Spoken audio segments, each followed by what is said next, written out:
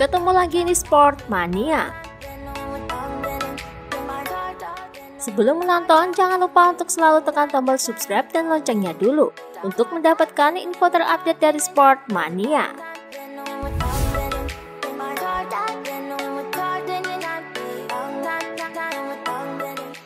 Dikutip dari Motorcycle Sport bahwa kemitraan antara RNF Racing MotoGP dan Yamaha diumumkan secara resmi. Dengan demikian, tim yang saat ini dinamakan dirinya Petronas SRT, kini akan terus menjadi satelit pabrikan Iwata untuk musim MotoGP berikutnya.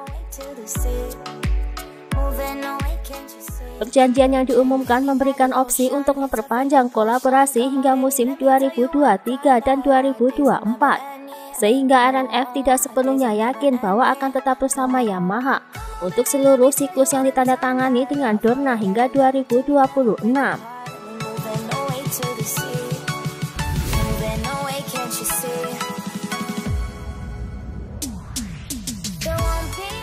Dikutip dari Motorsport, tim YouTube RNF nama baru Petronas SRT telah mengumumkan bahwa Darin Pinder akan menjadi rekan setim Jovi pada 2022.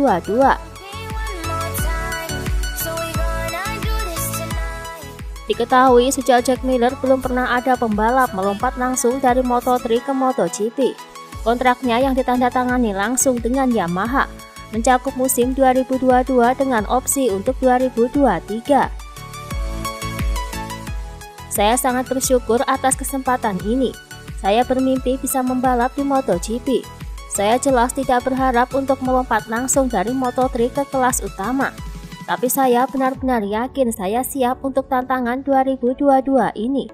Saya ingin berterima kasih kepada Yamaha dan tim RNF MotoGP yang membuat ini menjadi mungkin dan semua orang yang mewujudkannya. Saya tidak sabar untuk mengendarai WCR M1 untuk pertama kalinya di akhir musim ini.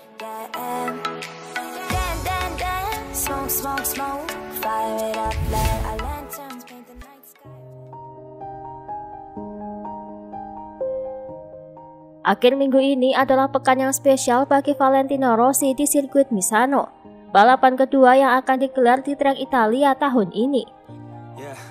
Dikutip dari Motosan, ia akan mengucapkan selamat tinggal pada apa yang telah menjadi hobinya seumur hidupnya selama lebih dari dua dekade.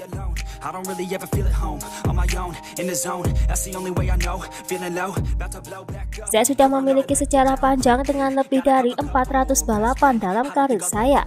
Saya hanya harus berterima kasih kepada semua orang. Saya mendapatkan dukungan luar biasa di seluruh dunia, terutama di Italia. Saya selalu memberikan yang terbaik. Kami menikmati banyak hal bersama, karena ini adalah karir yang panjang dan banyak balapan yang bagus. Kami akan melihat bagaimana kelanjutannya pada hari Minggu. Tetapi setelah Misano, kami masih memiliki dua balapan lagi. Itu selalu merupakan saat yang menyedihkan ketika harus berakhir. Tetapi bagaimanapun juga itu bagus. Mari menikmati.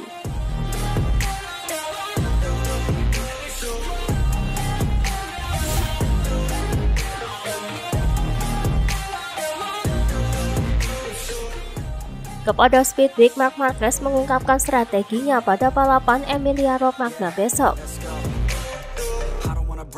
di mana ia dapat mengandalkan data yang dikumpulkan di tes Misano pada September lalu untuk mendukung strateginya di MotoGP Emilia Romagna.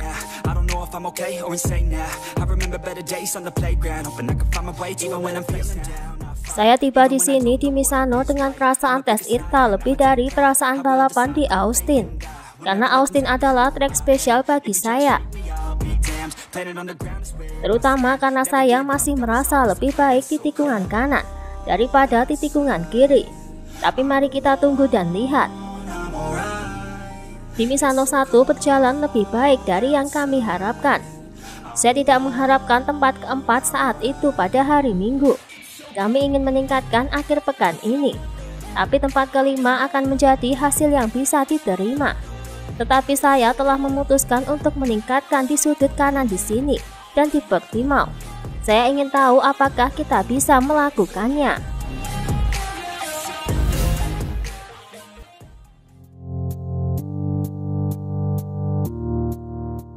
Setelah menjalani musim penuh persaingan di 2021, Peko Bagnaya jelas memiliki target tinggi untuk musim depan, yakni tujuannya adalah untuk memperebutkan gelar juara dunia 2022. Dikutip dari Tutamatori Web dalam konferensi pers menjelang balapan di Emilia Romagna, Bagnaya mengungkapkan misinya pada balapan musim depan. Yang bisa saya lakukan adalah mencoba untuk menang dan tetap berjuang untuk gelar dunia. Jika ada kesempatan kami akan mencoba. Akan berbeda akhir pekan ini. Kondisi sudah banyak berubah, bahkan bisa hujan. Namun saya akan berusaha memberikan yang terbaik. Tujuan kami adalah untuk meningkatkan dari waktu ke waktu. Kami tidak menyangka akan bersaing memperebutkan gelar juara. Saya melanjutkan dan segalanya dan setelah liburan musim panas, kami melakukannya dengan baik. Semua pekerjaan yang dilakukan akan menjadi penting untuk 2022.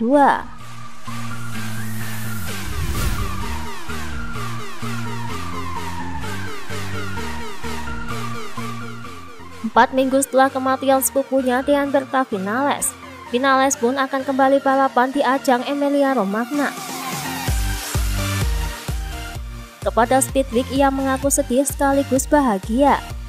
Saya merasa sangat aneh saat ini.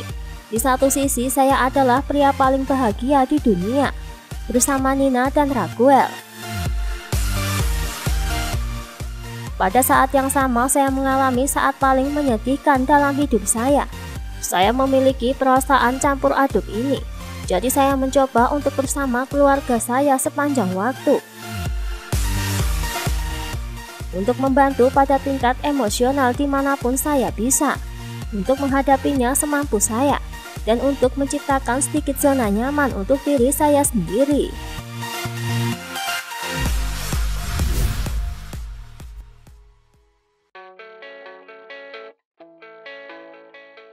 Dikutip dari Moto saat ditanya media mengenai dirinya akan membantu Bagnaya untuk meraih juara dunia MotoGP 2021 pada jumpa pers menjelang balapan di Emilia Romagna. Zarko pun mengaku ingin membantunya.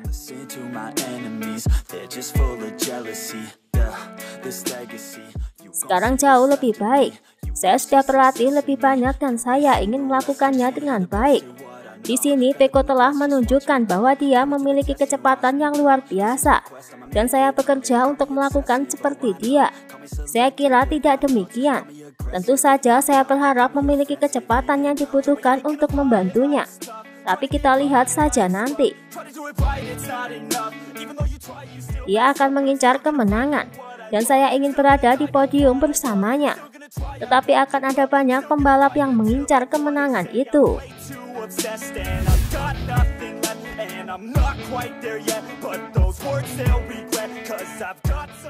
Pada pertemuan jumpa pers menjelang balapan di Emilia Romagna saat ditanya oleh media mengenai rumor kembalinya David Brivio ke MotoGP. Kepada Corsetti Moto, Rossi pun menjawab, Dia adalah manajer tim terbaik di MotoGP. Itu bisa membuat perbedaan seperti yang telah dilakukan di Suzuki dalam beberapa tahun terakhir. Saya tidak tahu masa depannya. Tapi jika dia kembali ke MotoGP, dia tidak akan bersama tim kami.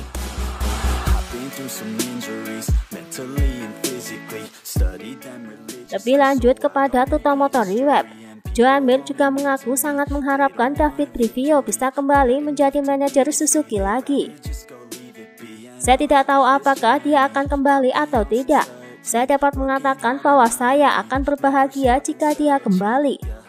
Dia telah melakukan pekerjaan dengan baik, dan jika dia akan meninggalkan Formula One untuk kembali ke sini, itu berarti mungkin dia tidak merasa nyaman dengan pekerjaannya saat ini. Itulah tadi beberapa informasi dunia MotoGP yang bisa kami sajikan.